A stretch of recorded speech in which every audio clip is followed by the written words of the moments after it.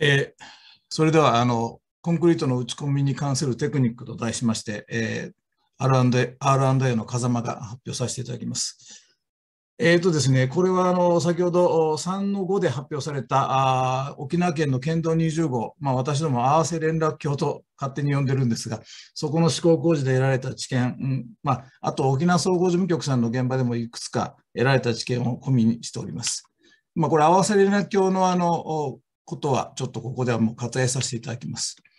えー、合わせではですね、えー、コンクリートはあのフライアッシュコンクリートを使っています。えー、スランプが12センチ、内割りでフライアッシュを69キロ、外割りで21キロ入れております。えー、ここで、えー、もともと沖縄県だけじゃなくて日本全国でですね、8センチ、土木のコンクリートは8センチと言われていたものをですね、えー、今、あの12センチで売っています。で、これを現場で打つとどうなるかというとですね、あのポンプ車の筒先から落とすと、こういうふうに、えー、8センチの山はできます。えー、それが12センチだとこういうふうに寝るのでですね、えー、ちょっと不具合が出てるよということに気がついたので、ここでお話しします。えー、まず、あの、一回先に生コンをこういうふうに落としてから、次、この横に12センチを打っていくときですね、8センチの場合だと、この辺に山を作ることが多いです。でも12センチだとここで山を作ってもですね、バイブレーターかけちゃうとどんどんどんどん流れていっちゃうので、できればこの乗り方に落とすと非常に有効です。で、バイブレーター、筒先周りのバイブレーターはあまり、強く当てずにですね、軽く鳴らす程度に当てて、ここで山を作って、次のあの山はまたバイあの筒先を動かして、この乗り方、さらにこの乗り方、乗り方へ動かしていくと。えー、バイブレーターで、えー、生コンをどんどん打って流していくんではなくて、筒先をどんどん動かしていくというのが非常に有効だということが分かっています。えー、それからこの絵はですね、先ほども使っていただいた現場ありましたが、え、バイブレーターの特性を示したものです。え、この下の表はですね、えー、あるメーカーさんのバイブレーターの指標です。えー、ここ見ていただきますと、30ミリ、ファイ30ミリですね、からファイ60ミリまでバイブレーターはありますが、バイブレーターの振動部の長さはだいたい400ミリ、40センチぐらいです。どういうことかと言いますとですね、バイブレーターは、えー、40ミリぐらいの長さがあるんですが、この下側と上側は振動しても全くこの辺の生コンは締め固まりませんよということが言いたいことです。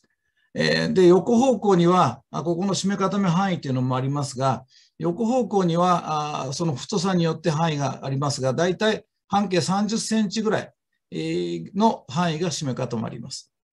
えー、これをですね、1層50センチの打雪高さで2層打つ場合ですね、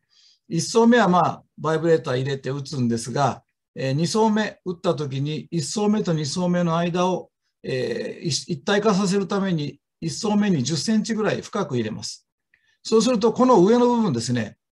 ここの部分全然締め固まらないんですよね。それで少し引き上げて締め固める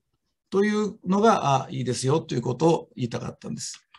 えー、これも先ほど使っていただいた絵ですが、あのそういったことをあのバイブレーターの下側と上側が締め固まらないのです。適切な深さにバイブレーターを入れていかなきゃいけないですよということで、えー、打雪層ごとにですね、バイブレーターにこういうテープを貼って、えー、大体天場で管理するのがいいと思うんですが、えー、テープを貼って、えー、打雪高さあ、ごめんなさい、バイブレーターの挿入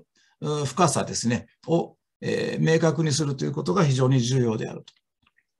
からこれはですね、えー、気泡とかですね、えー、沈みひび割れとかを防止するために、このかぶり部分のバイブレーターについての話です。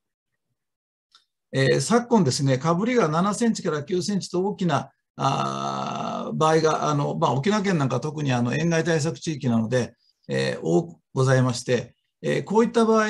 この鉄筋の内側に振動部を入れて、えー、のみでバイブレバイブレーションすると、この型枠側にはほとんどバイブレーターが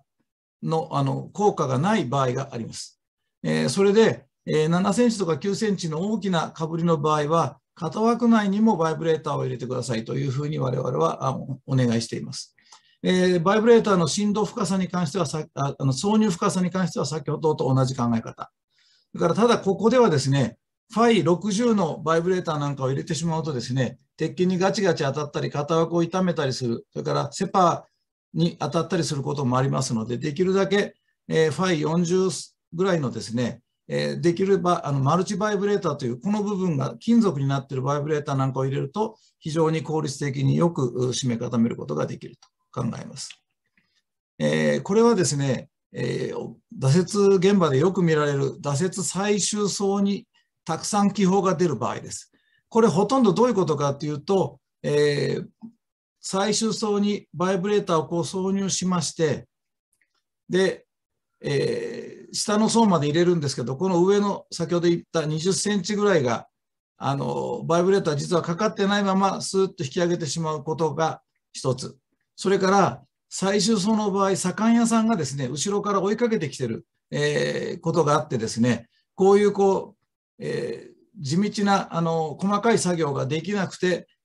バイブレーター入れて上げてきたらもう酒屋さんがスッて鳴らしてしまうので、えー、その後の再振動ができないというこの2つの問題があって、この辺に出るので、え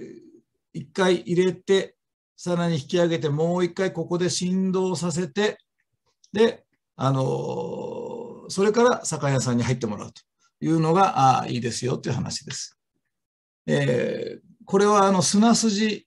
の発生の位置です。ご存知のように砂筋というのはこの脱雪した生コンの上にブリージングの水が溜まったり雨が降った水が溜まったりします。それを取らないで次の脱雪をするとこの水が型く側に押しやられて砂筋がこうできます。どういうことかと言いますと砂筋は打ち重ね線の上にできる。そういうもんです。えー、それを防止するために、えー、私どもはこんなふうに考えました。これはあの合わせ連絡橋でいう、えー、二中橋脚の小判型の橋脚ですが、こういう場合こう、蛇行するように脱雪していくのが一般的ですが、こうするとこっちのブリージング水をどんどんどんどんこっちの右手側に追いやってしまって、ここで、えー、ブリージング水を取って、えー、しまうということが多いんですが、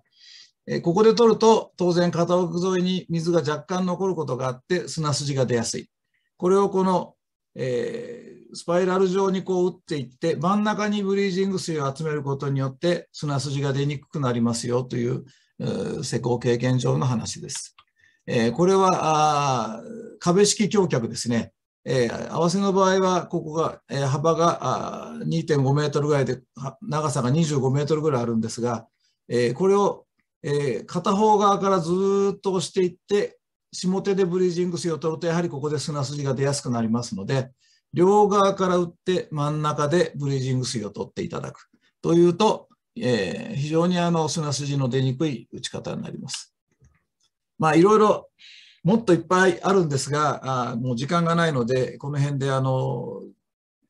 まとめに近いものを出しますが、えー、いろんなことを経験して最適と考えられた挫折体制というのはですね、左から右へ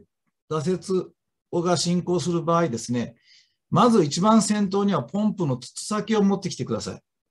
これよりも前にバイブレーターが行くと、どんどんどんどんこっち側に生コンを横流しすることになってしまうので、ポンプである程度山を持った後、筒先周りのバイブレーターで若干鳴らす。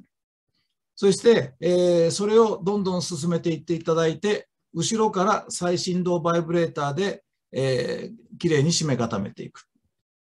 えー、かぶり部分があ厚い場合はですね、かぶりの厚さが厚い場合は、えー、このかぶりバイブレーターを入れていく。で、このかぶりバイブレーターも再振動バイブレーターも重要なことは、えー、先ほど言いましたように、バイブレーターの横方向のバイブレーターの振動が効く範囲が半径30センチ程度なので、50センチピッチ、5番の目を描くように、えー、